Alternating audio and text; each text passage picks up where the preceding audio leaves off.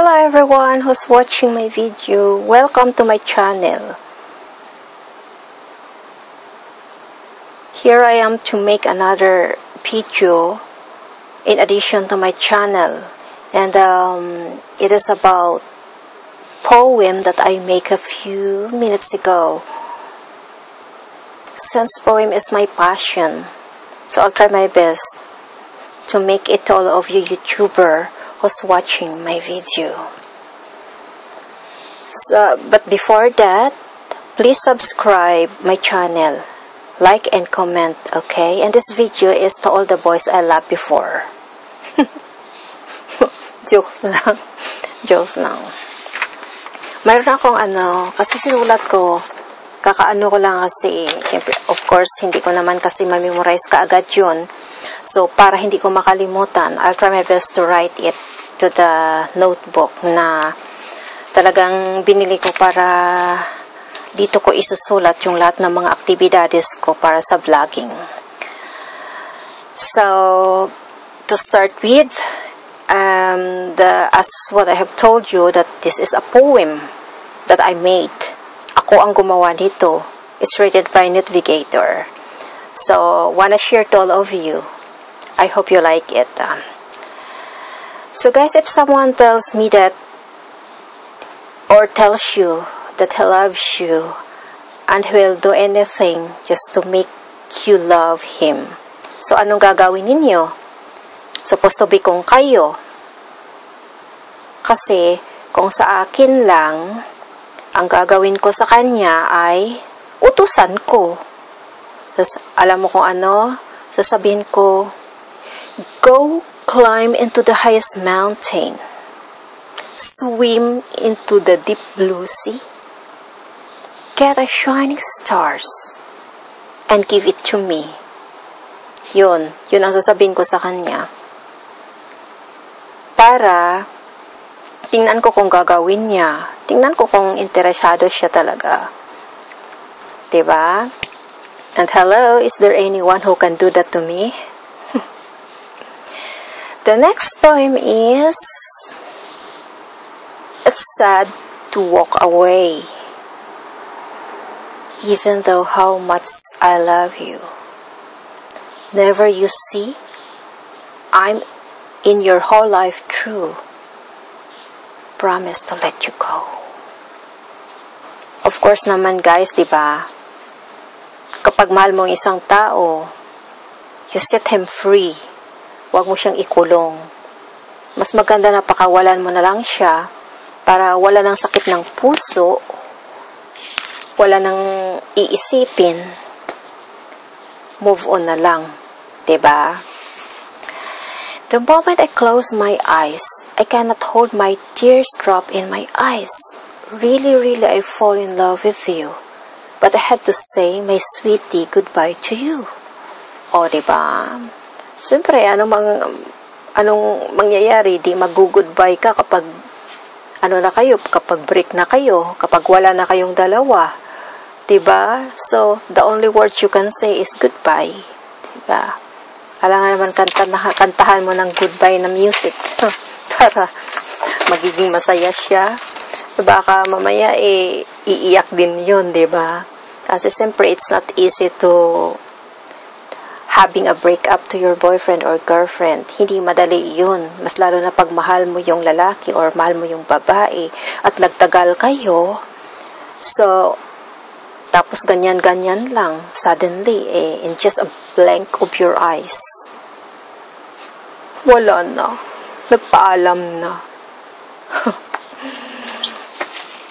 so, ang mangyayari, pag wala na kayo, when I wake up in the morning, Suddenly I sit down and crying. Oh, sweetie, please love me again. I'll stay in your life till the end. Ba, nagmamakaawa yata ito. Nag-break-break sa boyfriend niya, tapos magmakaawa. in your dreams, not me. Taas ng pride ko kaya. kaya hindi ako mapa, hindi ako mapapa-surrender. Anyway, Tagalog naman ang next. Kung ayaw mo sa akin, ayaw ko rin sa iyo. Hindi ko naman gwapo eh. Ganda-ganda ko. Balang araw, pag ako ay may bago, dadalhin ko sa harapan mo. I will go na judge kung sino sa inyo ang gwapo. O, ba? Diba? Para bang sinasabi niya, break na tayo, pangit mo eh, ganda ako. Pag nakahanap ako ng bago, pag nakakita ako, ikaw kumpara ko sa iyo. O, ba? Pero it's unfair naman na pag may comparison yung ex mo at saka yung present mo, hindi pwede yun. Parang pangit ba tingnan na ikaw kumpara mo? Although na kahit mas gwapo yung present mo kaysa ex mo, so wala na lang comparison para at least eh, klarado, di ba? Clear, everything is clear, everything is fine, it's running smoothly, kumbaga. I'm looking for an ugly, pero macho at matalino. Aanhin mo ang gwapo, kung madami naman kayo. O nga, for me naman, for my opinion, mas gusto ko na lang yung, kahit siya na yung pinakapangit sa buong mundo, kahit siya, kahit siya na lang ang pinakapangit ng mukha, yun ang pipiliin ko between sa gwapo at saka sa pangit. Kasi, pag pangit siya, maganda ako, eh, may tendency na hindi yun magloko. Kasi pangit siya eh. Tapos ako maganda eh. Usually naman kasi, kapag pangit eh, mas love-love niya yung babae kapag maganda, di ba? Tapos, yung babae naman, syempre, pa spoil-spoil na rin ng style, di ba? Yan ang style ng mga babae. So, for me naman, hindi ako, naki, hindi ako nakatingin sa mukha. Kundi, nakatingin ako kahit pangit siya, kahit ano lang siya, basta ako at ako lang, wala nang iba, ay talagang iibigin ko siya mula ulo hanggang paa. diba? Pero ano naman ha, on the other hand, mayroon din naman pangit na babaero eh. Pero, nasaan ang hostisya dyan? Diba? Pangit na siya, tapos magbabae pa mang marami. Di, negative talagang dating niya. Wala na siya. Okay lang daw kung guwapo siya, kung babaero. Pero pag pangit na babaero, asaan ang hostisya dyan? Sige nga. Oh, okay, ito. YouTuber ang pangarap ko. In my dream, sana magkatotoo.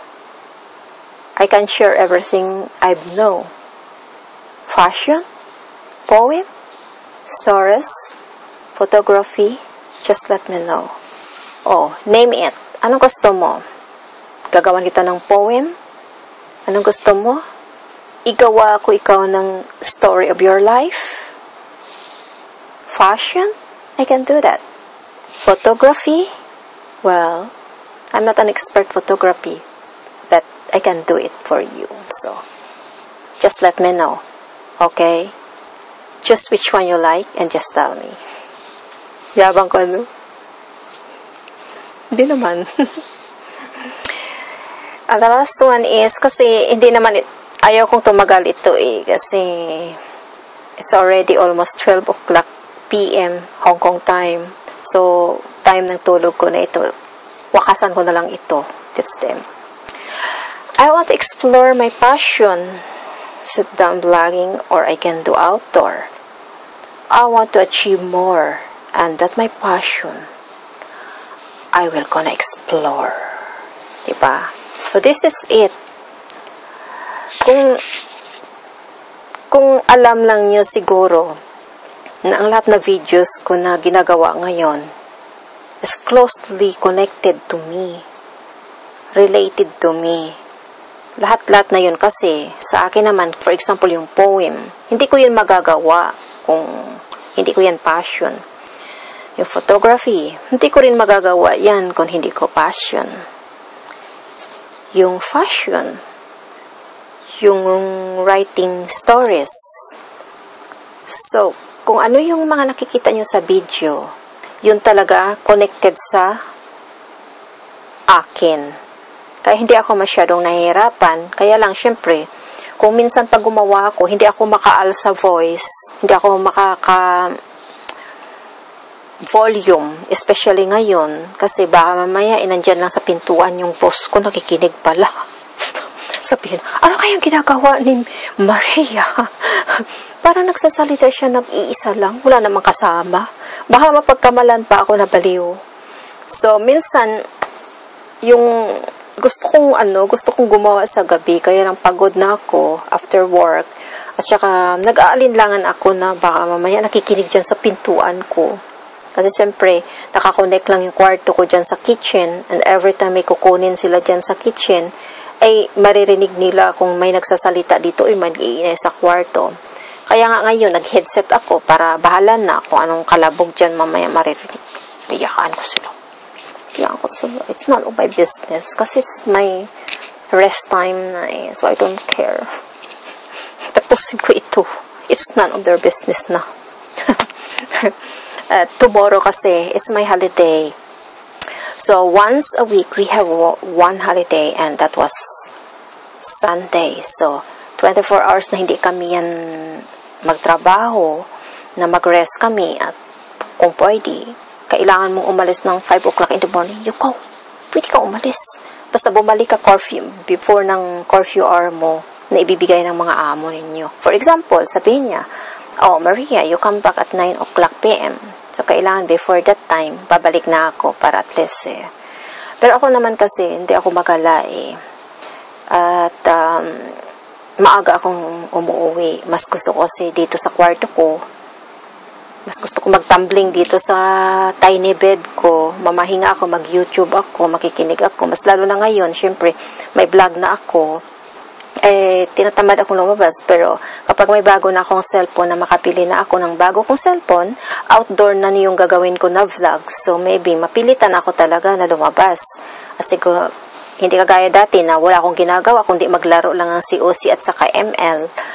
So, ngayon kasi, nakafocus na ako dito sa vlog. So, wala nang time na o mano ako, maglaro ako or whatever. Dito na ako nakafocus at nag-iisip kung anong gagawin ko. So long for now and um, sana you keep watching my video, subscribe my channel, and uh, of course, ma-enjoy din kayo sa papanood ng mga video ko. Tapusin niyo yung video ko until the end and uh, always just smile because smile is a sign of love and hope. So, keep watching. Good night. Bye. See you to the next video.